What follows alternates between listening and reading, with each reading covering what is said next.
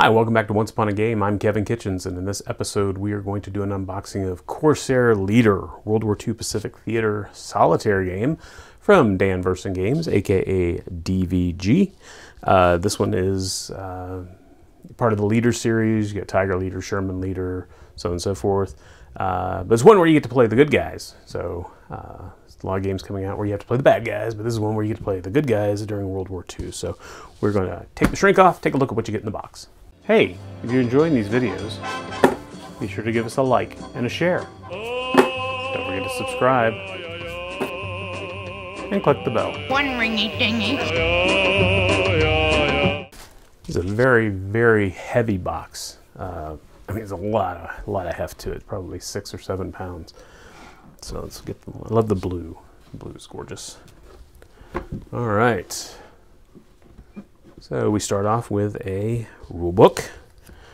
This is the introduction. It's the uh, DVG, it's glossy uh, magazine stock. It comes in at 40 pages, and then it is full color, obviously, and goes over the components. Um, it's 40 pages, but the uh, DVG does a lot of large print, knowing that uh, wargamers are getting advanced in years, so to speak, and so this helps uh, makes it easier to read, spread things out, easier to find things. So uh, it goes over the components, explains the cards, the counters, so on and so forth. This is a card-based game. Obviously, there's counters for markers and stuff. So uh, it's got your readout boards for your targets. How to dogfight. So you got that element as well. I've not played any of the plane leader games, so this will be a first for me. So here we go. So actually it comes in about 34 pages to the actual rules. Then we got a few little strip here of optional rules and then Kickstarter additions to the game that uh, came through the through the Kickstarter and uh, these are additions that got added to the base game. These are not exclusives. These are uh, you know, additions to the game that everyone benefited from based on the uh, the Kickstarter. Awesome, awesome, awesome. And these are all the Kickstarter backers who supported the game. So you can look through it and thank them. It's four, almost four full pages of names, and those are pretty small print, actually, so it's pretty cool. And that is the rulebook. All right, so we got a board here. Uh, we've got a dogfight uh, board. Dogfight, uh, it looks like a reference chart, but it is a nicely mounted board. Uh, looks like there's some kills you're going to store here, but nice addition. And then uh, we've got a display board. Let's open this up.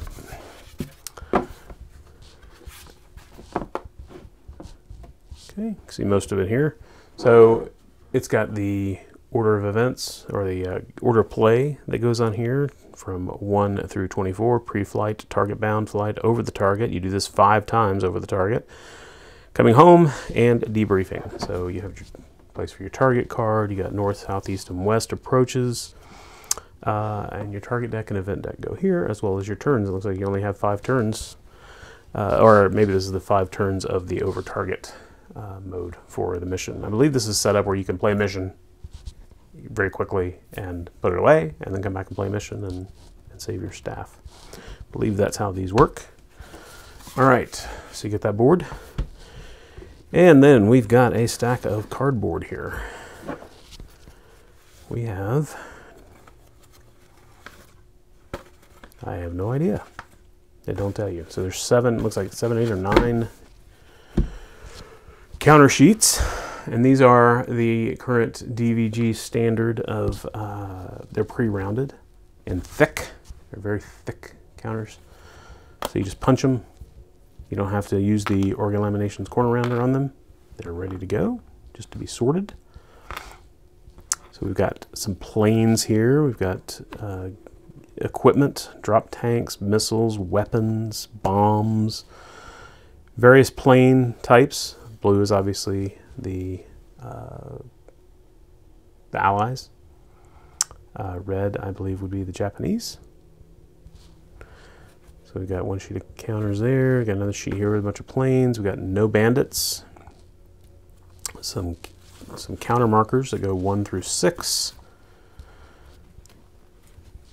Take these, got them one at a time here. Counter sheet three, some gung ho markers, more planes.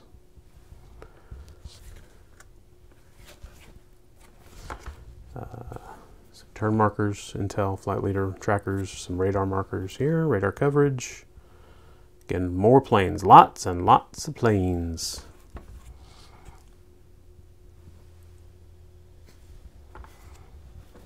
They all look very well registered. At least this printing is, they're centered. They look good. Oh, okay, now on the back here, uh, let's see, these are all A6 M2s, and then on the back, we have uh, various riflemen, no sight, things like that. Now that's, unfortunately, they took the route here of the same counter on this side has different backs, which makes organizing uh, more of a pain because when you want a no sight, you can't just say it's always on the back of this because now you got to sort through these to find these. So that's that's a little disappointing. Uh, I know some games do that to save space, but with all these counter sheets, I mean, but that is what it is. So. Uh, stress markers, experience point markers. Obviously, uh, these are reminders of uh, keywords that your probably your pilots have.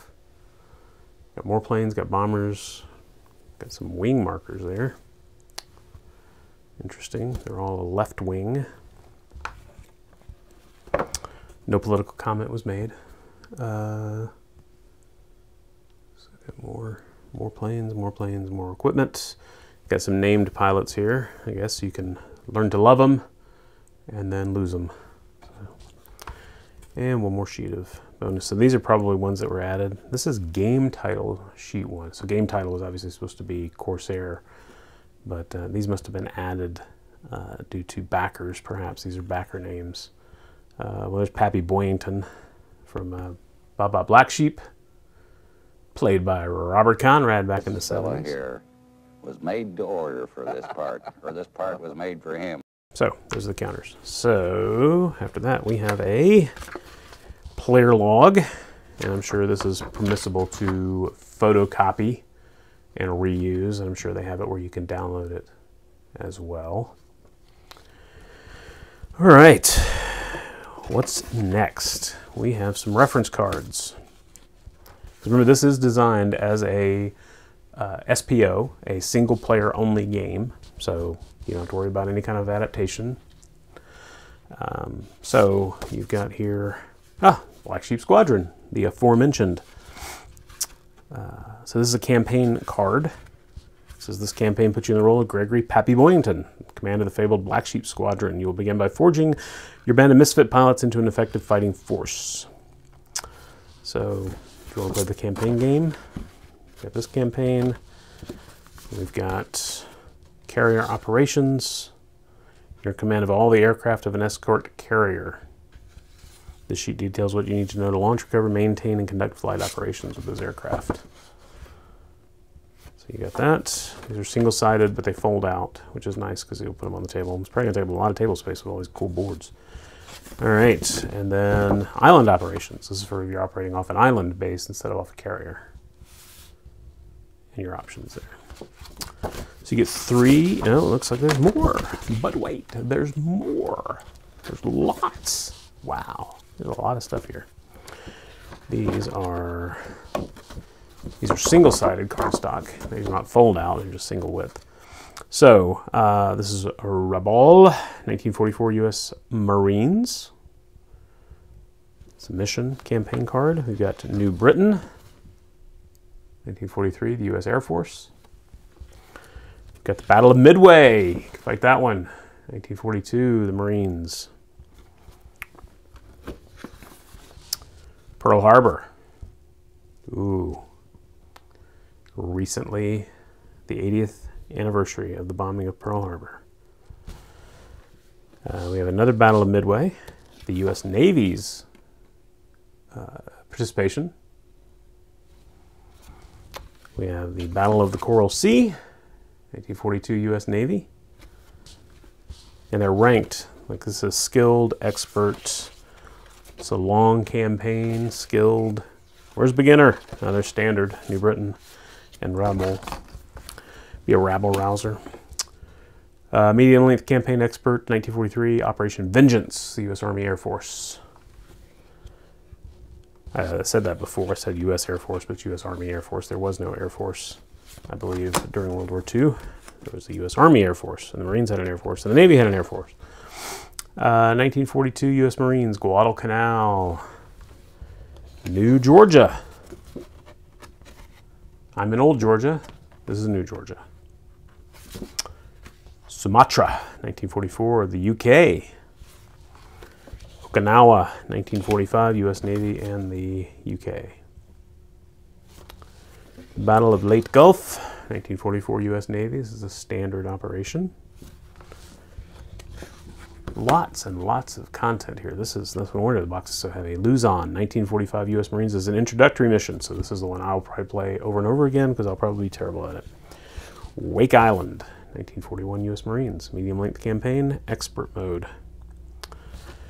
All right, now we've got more reference sheets, lots and lots of reference sheets. Here's one on, these are all single-sided.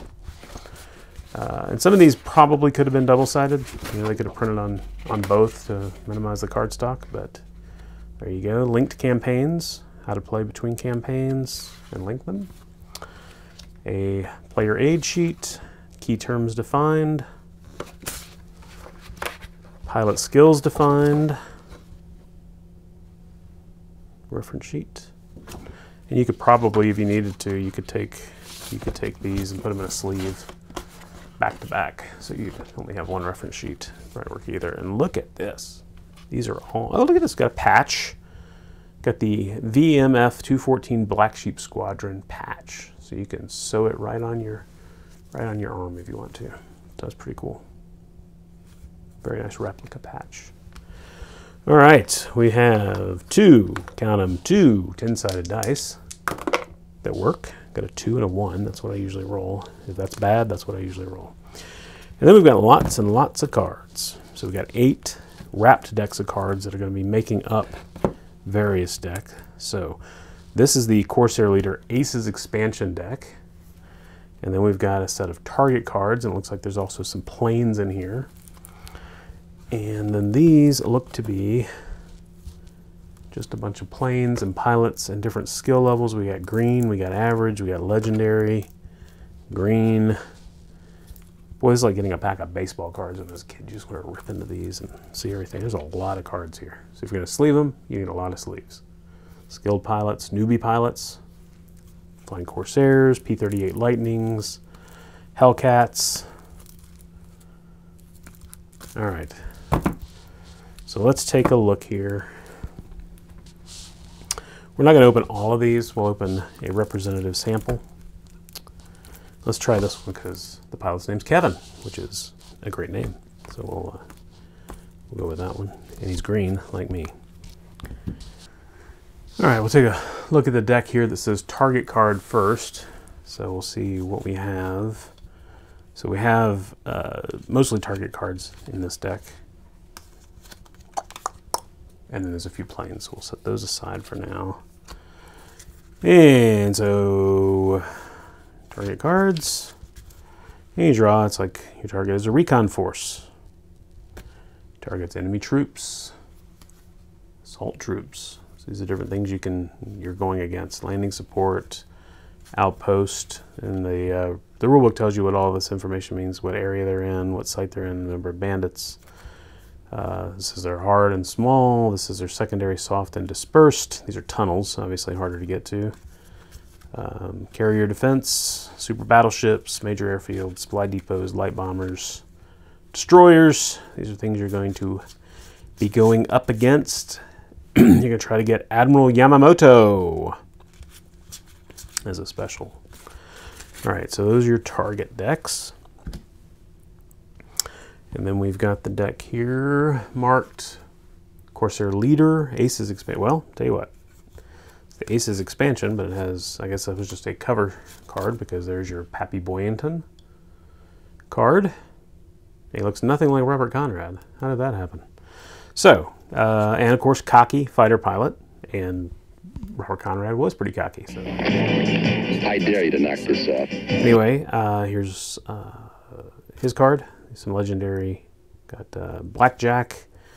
And so when you have these pilots, you have them. They progress to different levels. So when he goes from skilled eight to legendary, he's gonna he's gonna have different stats that he deals with. So and bonuses. So these are just a bunch of pilot cards. I don't know if all of these are necessarily the uh, um, the Aces expansion cards, or if that was just for this one. But more and more pilots and their planes. Jacob Tangia, Robert Stacy.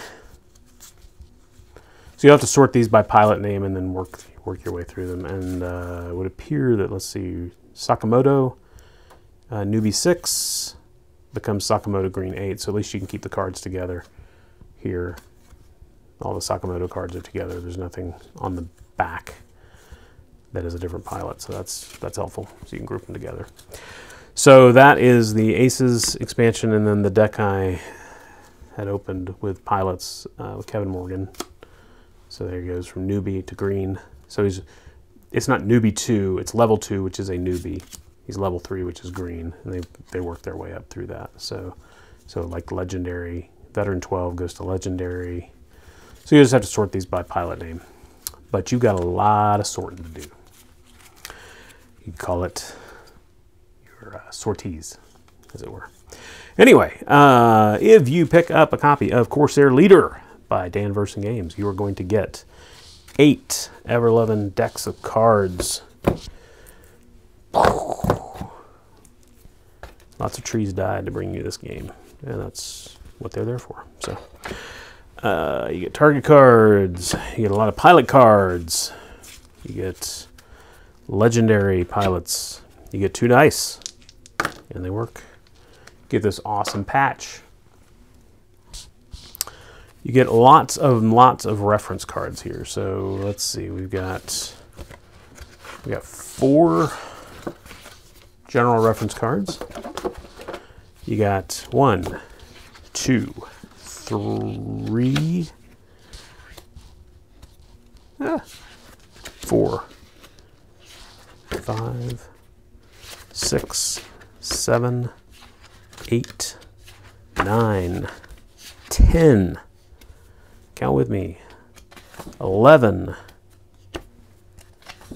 12, 13, 14 campaign sheets.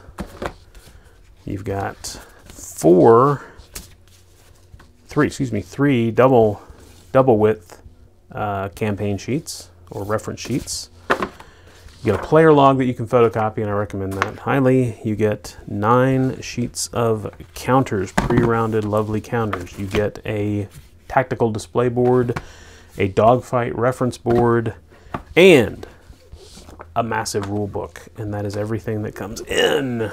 The very heavy, very content heavy as well. Corsair Leader by Dan Verssen Games. Thanks so much for watching. God bless you. Bye bye. I was thinking about reaching for the shark repellent, and then my luck really turned bad. Hey, Boyington! That you? I hear your radio, Boyington. Where are you hiding?